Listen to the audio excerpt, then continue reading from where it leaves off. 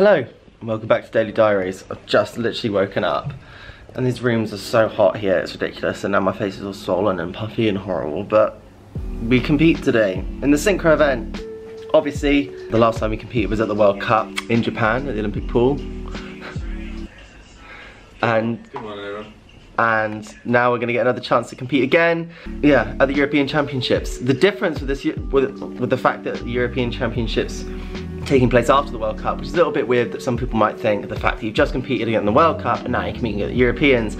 But the difference is with this competition is that the Russia was using a B team in the World Cup and they're using the A team here at the European Championships. So in theory, the European Championships was going to be a harder event because China wasn't at the World Cup.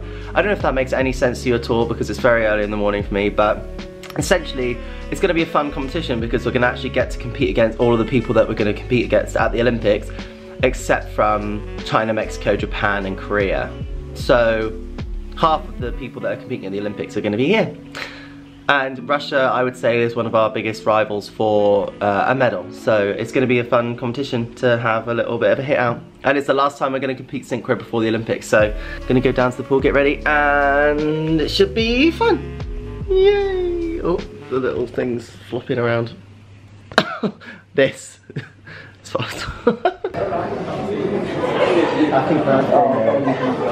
I, got, I, I made you a present. Yeah, Willy Wonka. And, it's a bit too big. and it's got a drawstring and everything. tighten it. Yeah, so you can tighten it He's like, yeah, can you tighten it? Please tell me you can tighten it. And, but yeah, they, people want to see it on. uh, wait, what's it on? I think Noah was pretty happy with his present. now we've got to do a COVID test before we go to back on the plane later, so I don't know if I'm going to be able to film it going up my nose, but they go in deep, let me tell you that. Not in a good way.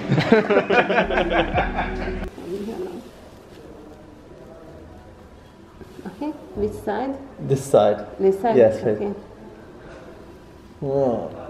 sorry. Okay. Ooh. So after that lovely COVID test, now at the pool we're about to start warm up and getting in because it's ready to go for synchro and this time it's a straight final so it's gonna be fun.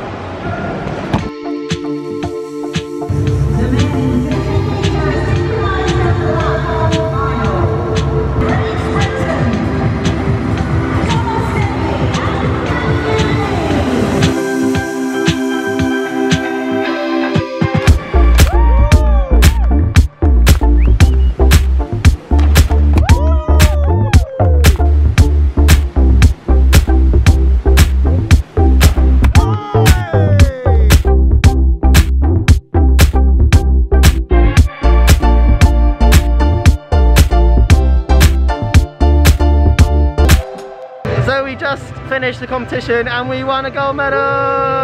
Uh, we just got the mix zone now where we're doing all of like the BBC stuff and then we get to collect our medallion. Yay!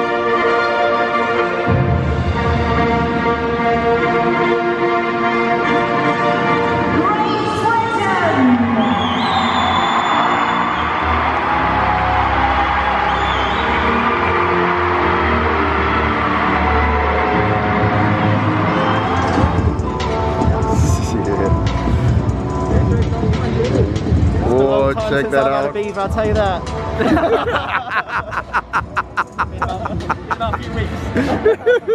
so yesterday was fun, and here it is.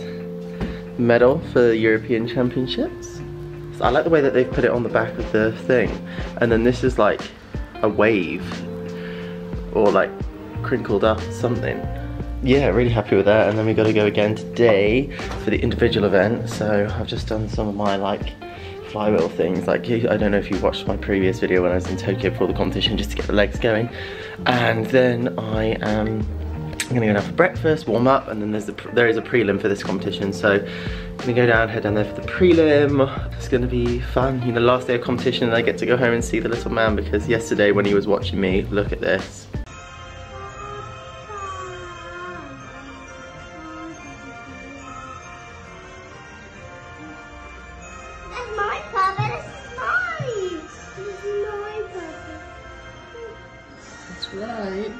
Literally just melts my heart, so I'm very excited to get home and see my boys.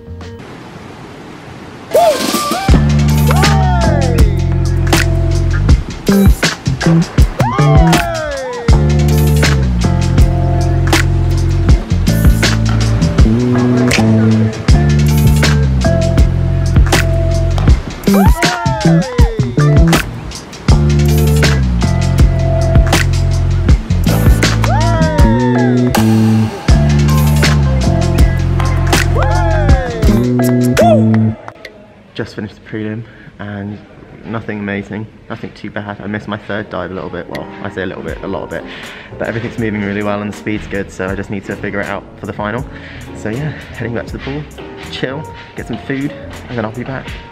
I'll be back.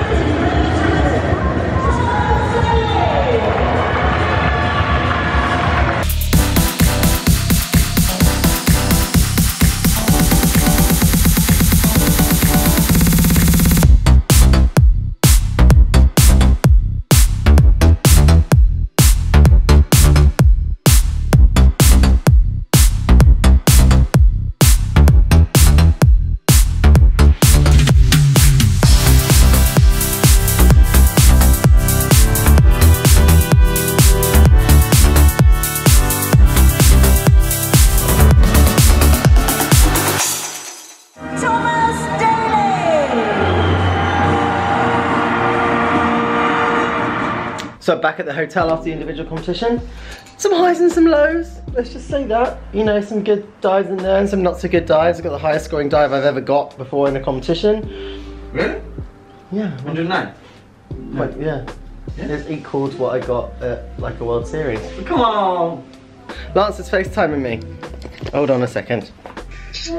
Hello? I've just spoke to Lance and he's going to bed.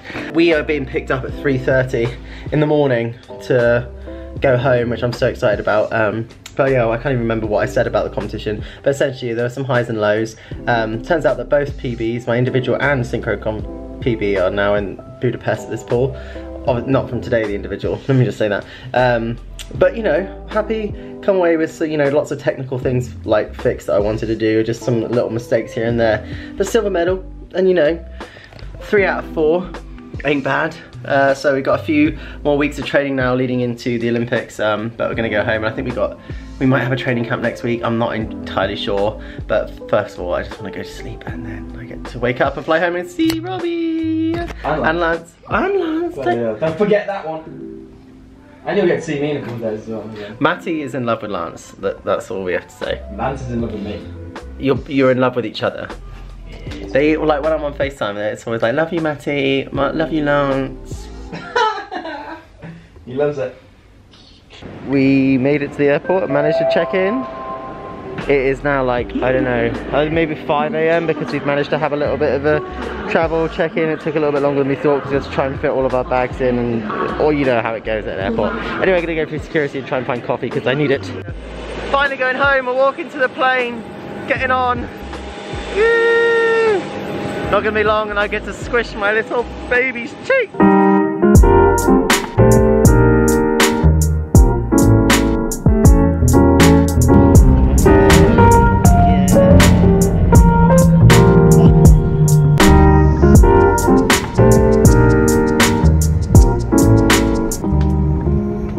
So Robbie's about to come up the stairs and see me for the first time. Probably going to be the most underwhelming re reaction ever, but I thought I'd film it anyway. So here we go. I'm, I, I'm really like nervous uh, because I'm so excited to see him, but at the same time so nervous because I haven't seen him for so long. Do you ever get that? I don't know if that's a thing with people seeing their kids for the first time. See if you see in surprise.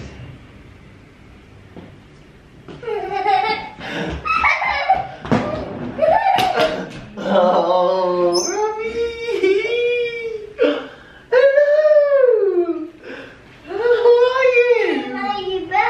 I'm back! So, after a couple of days off, I go back to training tomorrow, and it'll actually be my birthday when I get back to training. How? Actually, it's in two days' time. I'll be 27. How crazy. By the time you're watching this, I'm gonna be 27 already. Questions. What mental preparation techniques do you use on the competition day? I'm learning about mental preparation in GCSE PE theory at the moment and it's so interesting. You know, I always do a visualization before every dive uh, that I do in competition. Like I have a bit of a routine where I, you know, I have a drink at the bottom of the steps, then I go to the five meter and on the five meter I do my, um, like, like I cover my eyes with my chamois and I imagine myself doing the dive so that then I go to the seven meter, I do a physical run through and then when I get to 10 meter, I do like breathing work, like meditation at the back of the board board and then I go for it and I go into the into the dive essentially. Other question, congratulations on the silver medal tonight. Do you usually talk with your family in FaceTime, on FaceTime before a competition for good luck or do you want wait until it's over? and congratulations on the fifth dive score. I mean, wow. Uh, thank you.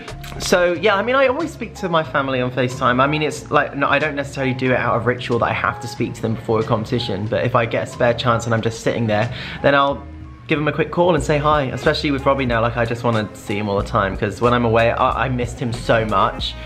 It was unbelievable, uh, and as you can see by our little reunion, it was it was everything. Oh my gosh, it was so cute.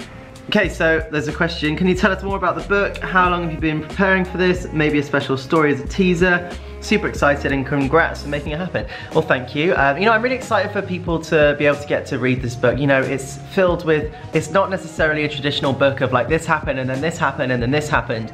It really kind of goes through each chapter is like a different lesson that I've learned through something that's happened to me, whether it be diving, whether it be in my life, whether it be my uh, love, whether it be with Robbie, whatever it is, of something that's taught me a lesson. And I, you know, I know I'm only 27. Um, well, I will be when you're watching this. I'm still only 26. Don't know why I'm wishing my years away.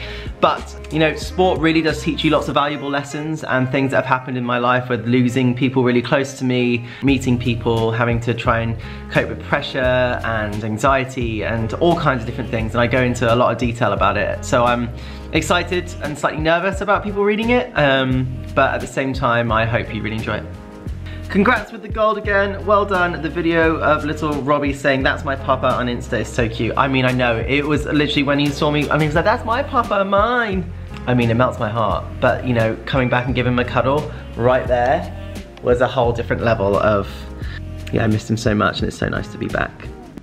Anyway, I hope you enjoyed that video. Uh, don't forget to like, comment below what your, uh, if you have any questions for next week, subscribe, I think I said it all. And also there'll be a link about where you can order Coming Up for Air, my new book. So I will see you next week. We're getting close to this Olympics now, guys. Can you believe it? Um, the next time I leave this country is to go to the Olympic Games. Crazy. Anyway, peace out.